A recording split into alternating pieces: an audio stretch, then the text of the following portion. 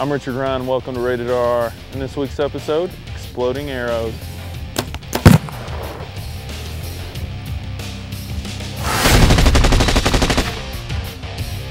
The Breakdown is where I take your favorite parts of movies and video games and recreate them in real life. This episode, Crysis 3.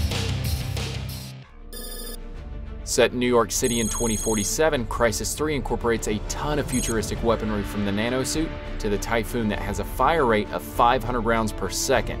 One thing that really caught my eye about the game is the Predator bow. Being that I had the proper federal licenses to experiment, I decided to make a few custom arrows for myself, filming it all with a rated RR slow-mo camera. When an RPG is launched, stabilizing fins are deployed causing it to rotate. The centrifugal motion arms the warhead, that way in theory if you hit an object too close it won't detonate. Explosive arrows on the other hand are armed before flight and detonate on impact. Compound bows like the Predator bow utilize a pulley system with cams to increase the amount of force exponentially. If too much force is exerted on the arrow it might detonate upon release, but on the other hand if there isn't enough force on impact it might not blow up.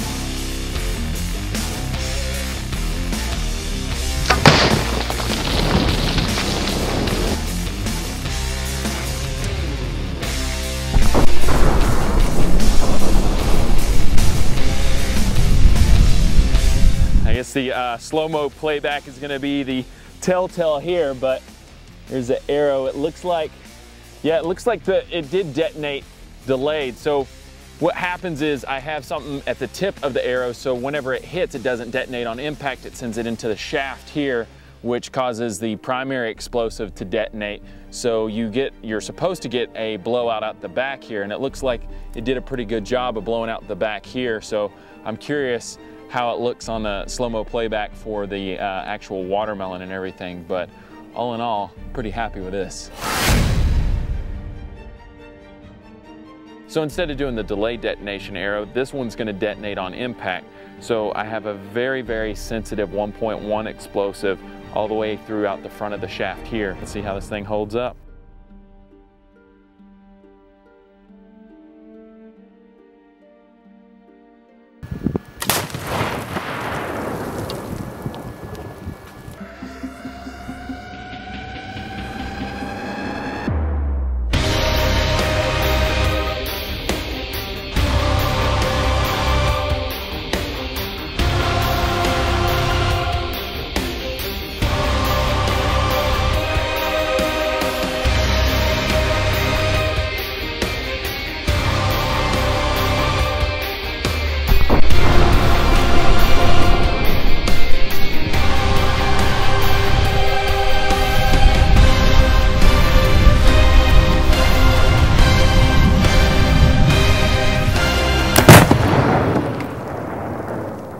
Nice!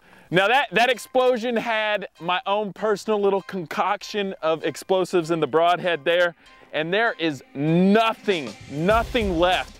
I mean, my, my little shooting stand here and everything is just like broken up into pieces. You know, this thing's lasted a long time. I think this has lasted the better part of a year or so with all the different types of machine guns and whatnot, but this, uh, this last explosion, it really did it in. So I would uh, would show you guys some of the Rhine or something like that, but there's nothing. That thing just vaporized. So uh, yeah. Thanks for watching guys. If you liked the video, make sure you pull that trigger on the subscribe button. Don't forget new episodes every single week right here on Rated RR. See y'all next time. Are you the hunter or the hunted?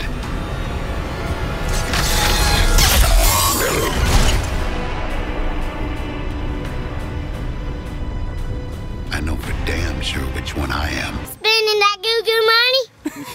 Yeah!